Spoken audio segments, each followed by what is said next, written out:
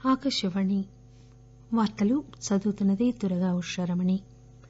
పంచాయతీరాజ్ సంస్థలు ప్రతినిధులు ప్రధానమంత్రి సంక్షేమ పథకాలను చేరవేసే అతి ముఖ్యమైన మాధ్యమాలుగా మారాలని కేంద్ర మంత్రి డాక్టర్ జితేంద్ర సింగ్ అన్నారు.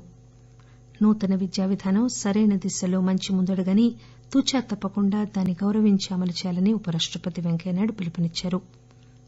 హోటళ్ళు రెస్టారెంట్లు విధించే సర్వీస్ పన్నుకు సంబంధించి ప్రభుత్వం జారీ చేసిన మార్గదర్శక సూత్రాలు తప్పనిసరిగా అమలయ్యేలా చూడాలని కేంద్ర వినియోగదారుల రక్షణ ప్రాధికార సంస్థ జిల్లా కలెక్టర్లను ఆదేశించింది.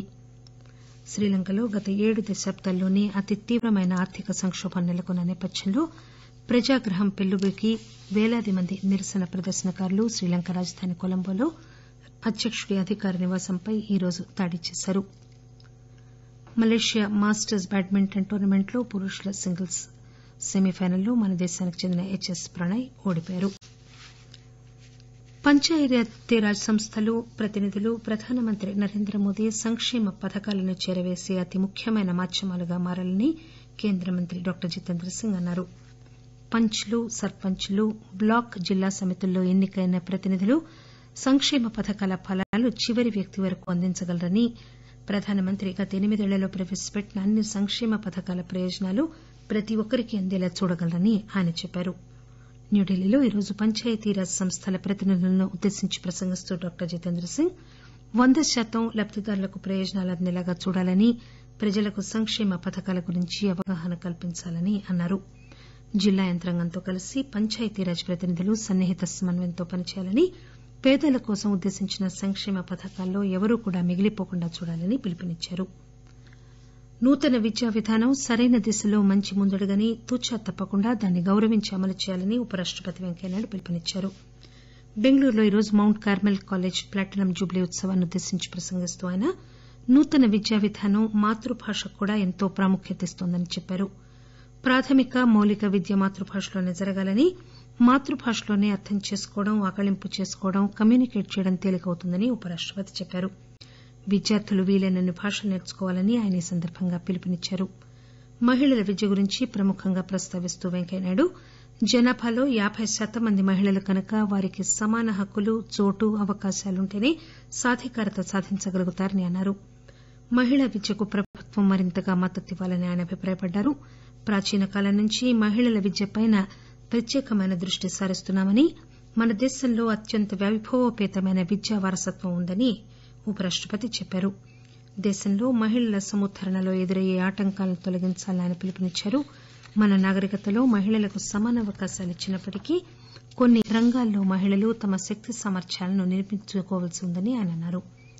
ప్రభుత్వం నైపుణ్యాల అభివృద్దిపై దృష్టి సారిస్తోందని దీనివల్ల జాతి నిర్మాణ కార్యకలాపాలకు యువజనులు సంసిద్దమవుతారని ఆయన చెప్పారు. పేదరికం నిరక్షరాస్యత వంటి సమస్యల రూపంలో మన దేశం ముందు అనేక సవాళ్ళున్నాయని ప్రభుత్వం ఈ సవాళ్ళను అధిగమిస్తుందని వెంకయ్యనాయుడు చెప్పారు. ప్రపంచంలోనే అత్యంత సహనశీలత ఉన్న దేశం భారత్ అని మన దేశం లౌకికవాదం. ప్రభుత్వం కారణంగానో పార్టీ కారణంగానో కాక ప్రతి వ్యక్తి రక్తంలోనూ ఉన్నందువల్ల సురక్షితంగా ఉంటుందని వెంకయ్యనాయుడు పేర్కొన్నారు. కర్ణాటక గవర్నర్ థవర్చంద్ గెహ్లోట్ రాజస్థాన్ మాజీ గవర్నర్ మార్గరెట్ ఆల్వా ఈ కార్యక్రమంలో పాల్గొన్నారు. జపాన్ మాజీ ప్రధానమంత్రి షింజో అబే హత్య పట్ల తన సంతాపం తెలియజేసేందుకు మన విదేశీ వ్యవహారాల మంత్రి డాక్టర్ ఎస్ జయశంకర్ ఈరోజు జపాన్ రాయబార కార్యాలయాన్ని సందర్శించారు. భారత్లో జపాన్ రాయబారి సతోషి సుజుకీకి ఆయన వ్యక్తిగతంగా తన సంతాపం తెలియజేశారు. గత రెండు దశాబ్దాలుగా షింజో అబే భారత్ జపాన్ దేశాల మధ్య పెరుగుతున్న మైత్రి సంబంధాలకు సంకేతంగా నిలిచారని స్వేచ్చతో కూడుకున్న హిందూ మహాసముద్రం పసిఫిక్ ప్రాంతం భౌగోళిక వేదికపై భారత్ జపాన్ సంబంధాలను ఆయన ప్రముఖంగా ఉంచారని జయశంకర్ ట్విట్టర్లో పేర్కొన్నారు. వ్యక్తిగా కూడా షింజో అబే ఎంతో సౌజన్యమూర్తి సహనశీలి అని డాక్టర్ జయశంకర్ తన సందేశంలో పేర్కొన్నారు. రేపు ఈద్ ఉల్ జుహా బక్రీద్ పండుగ సందర్భంగా రాష్టపతి రామ్నాథ్ కోవింద్ దేశ ప్రజలకు శుభాకాంక్షలు తెలియజేశారు. మానవాళి పట్ల సేవా త్యాగానికి ఈ పండుగ సంకేతమని ఆయన తన సందేశంలో పేర్కొన్నారు. హజరత్ ఇబ్రహీం చూపిన త్యాగపథంలో ప్రజలు ముందుకు నడిచేలాగా బక్రీద్ పండుగ స్పూర్తినిస్తుందన్నారు మానవాళి సేవలో ప్రజలు పునరంకితం కావాలని దేశ సౌభాగ్యం అభివృద్ది కోసం అందరూ కృషి చేయాలని ఆయన ఈ సందర్భంగా పిలుపునిచ్చారు. రేపు బక్రీద్ పర్వదినం సందర్భంగా తెలంగాణ గవర్నర్ డాక్టర్ తమిళిసై సౌందర రాజన్ శుభాకాంక్షలు తెలియజేశారు. బక్రీద్ పండుగ త్యాగ నిరతికి భక్తి శ్రద్దలకు నిదర్శనమని ఆయన ఒక ప్రకటనలో పేర్కొన్నారు. సేవ గౌరవం సహాయం సుహృద్భావాలకు ఈ పండుగ ప్రతీక అని గవర్నర్ తన సందేశంలో చెప్పారు. ఆకాశవాణి వార్తలు వింటున్నారు. హోటళ్ళు రెస్టారెంట్లు విధించే సర్వీస్ పన్నుకు సంబంధించి ప్రభుత్వం జారీ చేసిన మార్గదర్శక సూత్రాలు తప్పనిసరిగా అమలయ్యేలా చూడాలని కేంద్ర వినియోగదారుల రక్షణ ప్రాధికార సంస్థ సీసీపీఏ జిల్లా కలెక్టర్లను ఆదేశించింది.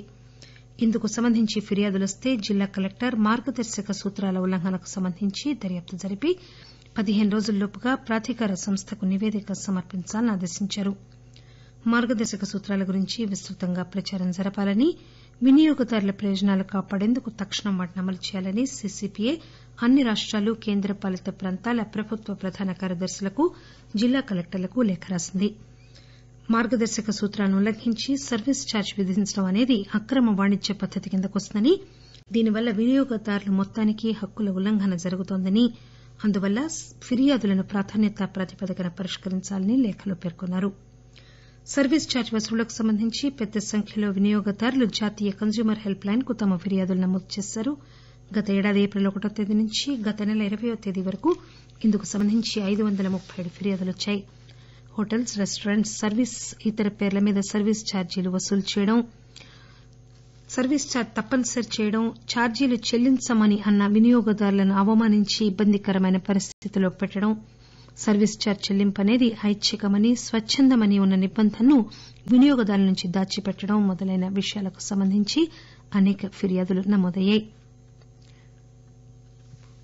మహారాష్ట ముఖ్యమంత్రి ఏకనాథ్ షిండే ఉప ముఖ్యమంత్రి దేవేంద్ర ఫడ్నవీస్ ఈరోజు రాష్టపతి రామ్నాథ్ కోవింద్ను రాష్టపతి భవన్లో కలుసుకున్నారు. అనంతరం వారు బీజేపీ అధ్యకుడు జేపీ నడ్డాతో కూడా సమాపేశమయ్యారు ఈ సమాపేశంలో మహారాష్ట కేబినెట్ విస్తరణ గురించి చర్చలు జరిగాయని ఆకాశవాణి విలేకరి తెలియజేస్తున్నారు. ముఖ్యమంత్రి ఉప ముఖ్యమంత్రి ప్రధానమంత్రి నరేంద్ర మోదీని కూడా ఈ సాయంత్రం కలుసుకున్నారు. ఢిల్లీలో మహారాష్ట సదన్లో ఈరోజు ఒక విలేకరుల సమాపేశంలో మాట్లాడుతూ ముఖ్యమంత్రి ఏకనాథ్ షిండే కేంద్ర ప్రభుత్వం నుంచి మద్దతు అందుకునే రాష్టం అభివృద్దిలో వేగంగా ముందుకు సాగుతుందని అన్నారు. సమాజంలో అన్ని వర్గాల వారికి న్యాయం చేకూర్చేందుకు కేంద్ర ప్రభుత్వం సహాయం ఎంతో ముఖ్యమని ఆయన చెప్పారు. మహారాష్టలో కొత్త ముఖ్యమంత్రి ఉప ముఖ్యమంత్రి ప్రమాణ స్వీకారం చేయగా మిగిలిన మంత్రుల చేత ఇంకా ప్రమాణ స్వీకారం చేయించవలసి ఉంది. ఏకనాథ్ షిండే నేతృత్వంలోని ప్రభుత్వం మహారాష్టలో గత సోమవారం జరిగిన విశ్వాస పరీక్షలో నూట అరవై నాలుగు తొంభై తొమ్మిది ఓట్ల తేడాతో గెలుపొందింది. కేంద్ర హోంమంత్రి అమిత్ షా అధ్యక్షతన ఈరోజు ఉత్తరాది మండల సమితి సమాపేశం రాజస్థాన్లోని జైపూర్లో జరిగింది. రాజస్థాన్ ముఖ్యమంత్రి అశోక్ గెహ్లోట్ హర్యానా ముఖ్యమంత్రి మనోహర్ లాల్ హిమాచల్ ప్రదేశ్ ముఖ్యమంత్రి Jairam Thakur Delhi lieutenant governor Vinay Kumar Saxena Ladakh lieutenant governor R K Mathur Chandigarh పాలకుడు భన్వారీలాల్ పురోహిత్ ఉన్నతాధికారులు సమితి ముప్పయ్యో సమాపేశానికి హాజరయ్యారు. అంతర్గత భద్రత రోడ్లు రవాణా పరిశ్రమలు నీరు విద్యుత్ ఉమ్మడి ఆసక్తిగల ఇతర అంశాల గురించి సమాపేశంలో చర్చించారు.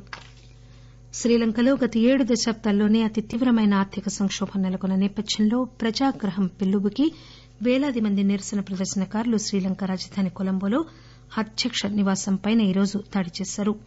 అనేక నెలలుగా నెలకొన్న నిరసన ప్రదర్శనలు ఈరోజు కట్టలు తెంచుకుని సచివాలయంపై కూడా పేలాది మంది నిరసన ప్రదర్శనకారులు దాడి చేశారు. శ్రీలంక అధ్యకుడు గోటాబయ రాజపక్సే సైనిక కేంద్ర కార్యాలయంలో తలదాచుకోవాల్సి వచ్చింది. పరిస్థితి అదుపు తప్పవచ్చునని గూఢచర్య నివేదికలు వచ్చిన నేపథ్యంలో దేశ రక్షణ కోసం ఆయన తరలించినట్లు రక్షణ మంత్రిత్వ శాఖ తెలియజేసింది. ఇదిలా ఉండగా ప్రధానమంత్రి రనిల్ విక్రమసింఘే పార్టీ నాయకుల అత్యవసర సమాపేశం ఏర్పాటు చేసి పరిస్థితి గురించి చర్చిస్తున్నారు. జులై ఎనిమిదో తేదీన శ్రీలంక రాజధాని వ్యాప్తంగా నిరవధిక కర్ఫ్యూ విధించారు. అధ్యకుడు పదవి నుంచి దిగిపోవాలని నిరసన ప్రదర్శనకారులు డిమాండ్ చేస్తున్నారు. కౌలాలంపూర్లో జరుగుతున్న మలేషియా మాస్టర్స్ బ్యాడ్మింటన్ టోర్నమెంట్లో ఈరోజు పురుషుల సింగిల్స్ సెమీఫైనల్లో మన దేశానికి చెందిన హెచ్ఎస్ ప్రణయ్ హాంకాంగ్కు చెందిన ప్రత్యర్థి చేతిలో ఇరవై ఒకటి పదిహేడు తొమ్మిది ఇరవై ఒకటి పదిహేడు ఇరవై ఒకటి తేడాతో ఓడిపోయారు. అంతకుముందు మహిళల సింగిల్స్ క్వార్టర్ ఫైనల్స్లో పీవీ సింధు కూడా ఓడిపోయారు. విశేషాలు మరొకసారి. పంచాయతీరాజ్ సంస్థలు ప్రతినిధులు ప్రధానమంత్రి సంక్షేమ పథకాలను చేరవేసే అతి ముఖ్యమైన మాధ్యమాలు కావాలని కేంద్ర మంత్రి డాక్టర్ జితేంద్ర సింగ్ అన్నారు. నూతన విద్యా విధానం సరైన దిశలో మంచి ముందడుగని ఉపరాష్టపతి వెంకయ్యనాయుడు చెప్పారు. శ్రీలంకలో గత ఏడు దశాబ్దాల్లో అతి తీవ్రమైన ఆర్థిక సంకోభం నేపథ్యంలో పేలాది మంది నిరసన ప్రదర్శనకారులు ఈరోజు అధ్యక్ష నివాసంపై దాడి చేశారు. మలేషియన్ మాస్టర్స్ బ్యాడ్మింటన్ టోర్నమెంట్లో హెచ్ఎస్ ప్రణయ్ ఈవేళ ఓడిపోయారు.